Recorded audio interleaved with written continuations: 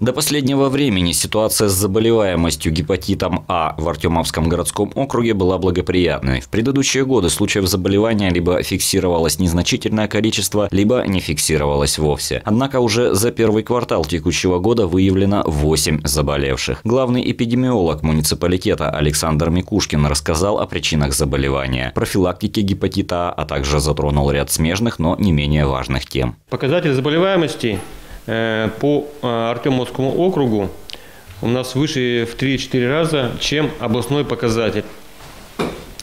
Из общего числа заболевших, это у нас 7 взрослых и один ребенок до 4 лет. Э, по месту расположения четверо проживает у нас в городе Артемовске и 4 в поселке Буланаш.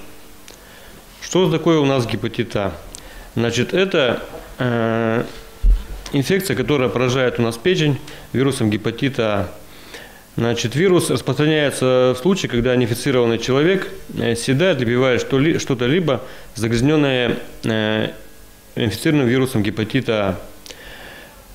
Чаще это связано у нас с плохой санитарной ситуацией, э, либо с плохими навыками личной гигиены, но основным фактором этого у нас является употребление некипяченой воды.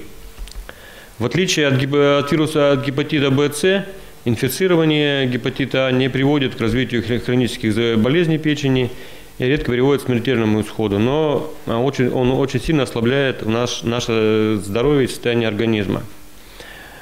По пути передачи э, вирус гепатита А имеет э, три пути передачи. Это водный, пищевой и контактный.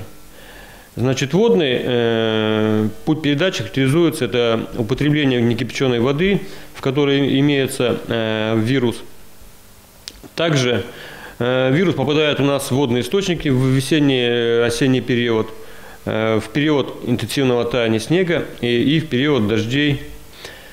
В результате этого происходит загрязнение водопроводной воды и воды нейтрализованных источников. Это колодцы, коптежи. Кроме этого, э, возможно заразиться через воду при купании в водоемах и бассейнах. Причины, при которых происходит у нас э, именно загрязнение воды, это высокий износ водопроводных сетей, э, некачественное проведение дезинфекции воды в централизованных э, водопроводах, так как качество воды оценивается по содержанию хлора в тупиковых точках водопровода. И непроведение дезинфекции воды в нецентрализованных источниках – то есть не своевременно проводится э, чистка их и не проведение текущего э, санитарного содержания вот этих колодцев, коптежей, родников. Э, другим путем передачи это у нас является контактный путь передачи. Это путь передачи от больного человека здоровому Э, который может его окружать. Вот с целью предупреждения заражения по такому пути необходимо соблюдать правила личной гигиены, проводить дезинфекцию помещений, где находится больной гепатитом А. Третий путь передачи – это у нас э, пищевой. Он реализуется через употребление продуктов, э, зараженных вирусом, э, во время производства на пищевых предприятиях, предприятиях пищевой общественного питания и торговли. Значит, основные это у нас ягоды, э, овощи, зелень, которые могут быть контаминированы вирусом. И при э, плохой обработке они могут заражать организм.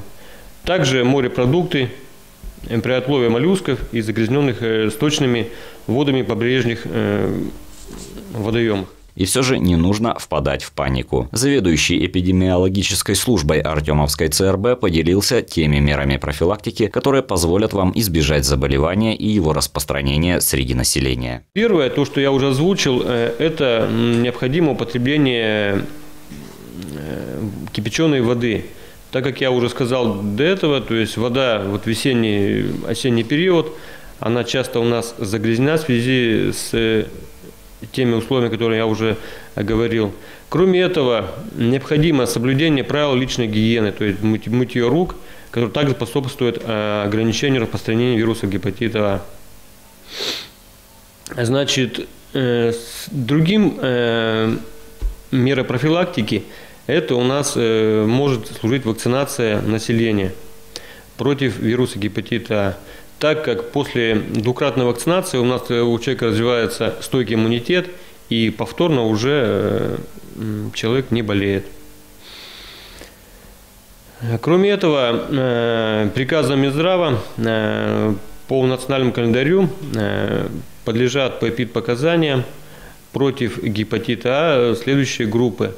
Это у нас лица группы риска, это работники сферы обслуживания общественного питания, работники пищевой промышленности, работники водопроводных сетей, канализационных сетей – также лица, выезжающие в неблагоприятные районы, где могут регистрироваться э, заболеваемость. И последнее, это у нас контактные, которые находятся в очагах, где имеется, был больной, и они были в контакте. И чтобы предотвратить дальнейшее возникновение заболеваний среди контактных, их необходимо прививать. В заключение остается напомнить, что ранние симптомы инфицирования гепатитом А – ощущение слабости, недомогания, потеря аппетита, тошнота и рвота, боли в мышцах могут быть ошибочно приняты за симптомы другой болезни с интоксикацией или лихорадкой. Однако у ряда лиц, особенно детей, симптомы не проявляются вообще. Инкубационный период длится от 15 до 50 дней, а смертность составляет менее половины процента.